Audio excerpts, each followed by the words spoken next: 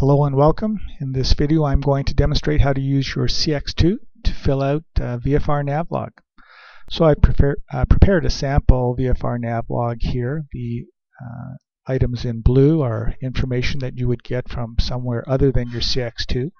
Here we have the planned cruising altitude, uh, the true wind that you would get from the winds aloft forecast, temperature which also comes from the winds aloft forecast, the true course that you would get uh, by measuring the course on your map using a protractor. Variation, which you would uh, copy down from the map also. The true airspeed that you get from your pilot operating handbook. The distance measured with a ruler on your map. And the fuel flow, which you also get from your pilot operating handbook. So that's all the information we need and we're ready to begin. We have our CX2 handy over here, so we'll just turn it on. It always comes on in calculator mode, so we immediately switch to flight mode. And we're ready to begin. Now odds are you would have been using your CX2 previously. You probably went through the altitude menu and figured out your pressure altitude and uh, possibly your density altitude earlier in order to uh, facilitate looking up the true airspeed. We're assuming here you've already done that and we're picking it up at the flight planning stage. So uh, we're going to choose menu item number four, which is flight planning. That brings us to the planning uh, menu. We've got six menu items, but we're not going to need them all. Each of these menu items is going to tell you the, the things in the title. So item number one is going to give us the heading. That would be the true heading and the ground speed. So we need that for sure, the true heading and the ground speed. But we're not going to need menu item number two because we'll already have the heading from number one and we already know the true airspeed. So we can skip over that one. We will need to use the compass heading. Now here on the navlog I have magnetic heading, but we'll talk about that a bit more in a minute when we get to it. We're going to need number four to uh, to get the time over here and then to get the, uh, the fuel burn, we have to go back to the flight menu. So item number five, the ETA, we don't really need it for flight planning. That's more used in flight. When you take off, you enter your takeoff time. It calculates your ETA for you. And item number six, we don't really need that one either. That's just a reciprocal calculator. It can be quite handy at times, but we don't need it for flight planning.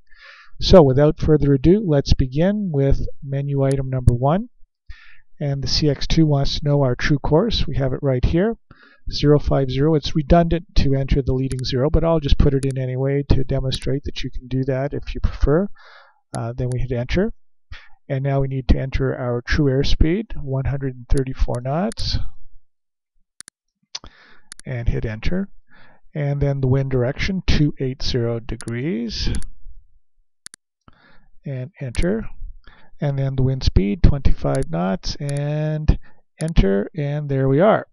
The uh, true heading right down to the last tenth of a degree. I'm just going to go ahead and round that off and call that uh, 42 and we've got the ground speed again to the tenth of a degree. I'm going to round that off and call that 149 so 149 right there.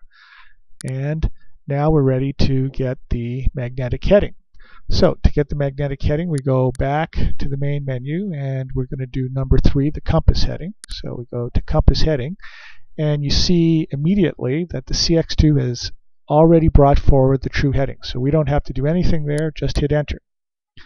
Now we have to put in the variation, which is 18 degrees east. So we go 18, An easterly variation is negative, so we hit the plus minus button to make the negative sign, hit enter. Now at this point, the CX2 would like you to enter the deviation from your compass deviation card. But as you know from elsewhere, I'm not a big fan of doing that here. I believe you should allow for the deviation uh, in flight when you set your heading indicator. So what we really want on the nav log is not the compass heading, we want the magnetic heading. So I always just leave deviation at zero at this point. So just hit enter and here then, even though it says compass heading, in effect this is the magnetic heading because the deviation is zero. And I'm just going to round that off and call that 24. So that's our magnetic heading 24.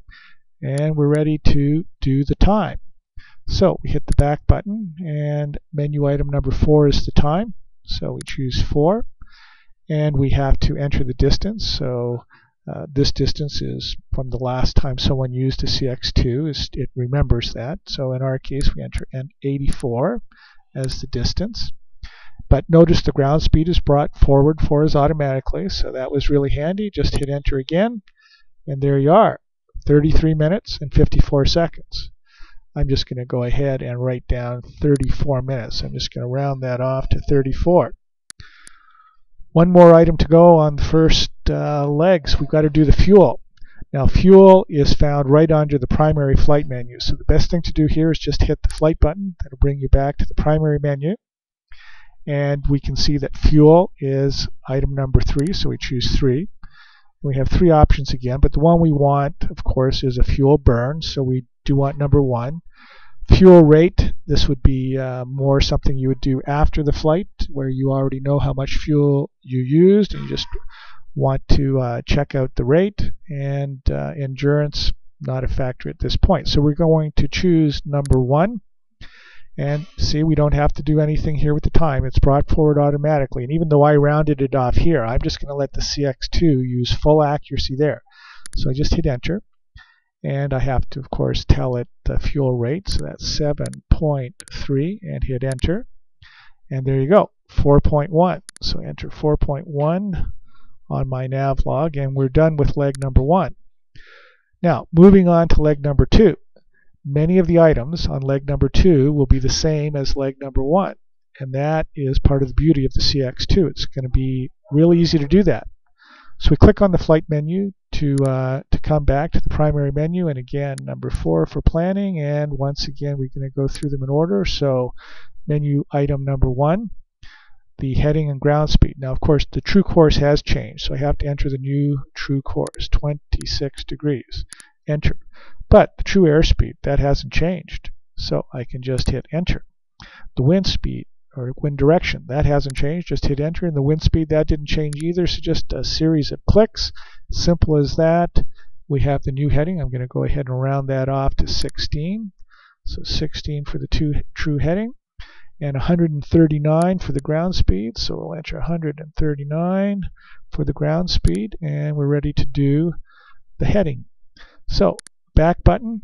And number three is the compass heading and see our true heading is already there so just hit enter and our variation is already there so just hit enter deviation already there and so there you are simple as that compass heading magnetic heading in reality I'm going to round that off to 358 so we'll just enter 358 there and we're ready to do the time so we go back and choose number four so the, the distance, of course, on this leg is different. So we have to enter the new distance, 143 miles. Hit enter. But the ground speed's already there. Enter again. One hour, one minute, 52 seconds.